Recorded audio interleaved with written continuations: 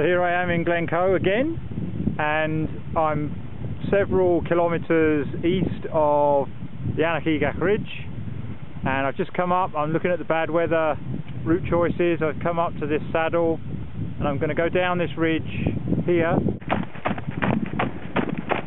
It's pretty much um, awesome out here.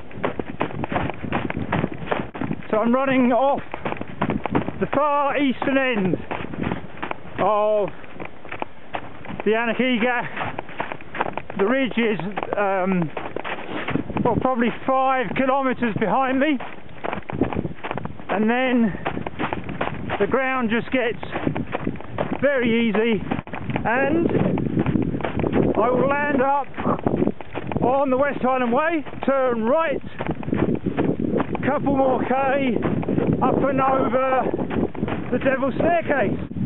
I've done a bit of mountain biking on this track, that is for sure. Not often that I'm running on it.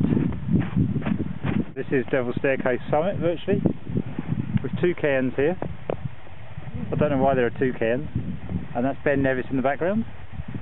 There's a chap coming down the route that Shane will look at. Here's a couple of walkers on the West Highland Way. Hello! Well, it's warmer down here. Last uh, video of this reconnaissance session. I'm facing Buachaille Etive Mor. When I show you, it runs the full length of shot. And then to its right, and in our event after a descent, is the end of the ridge which is Buccleuchtiv Beg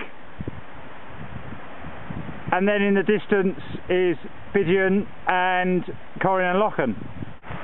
So mainly I've been looking at the bad weather contingency route on the north side of Glencoe and it's been a pleasure to just do quite a lot of trail running at the end here on the West Highland Way and it's still a few more kilometres to what will be the finish there at Glencoe Mountain Resort.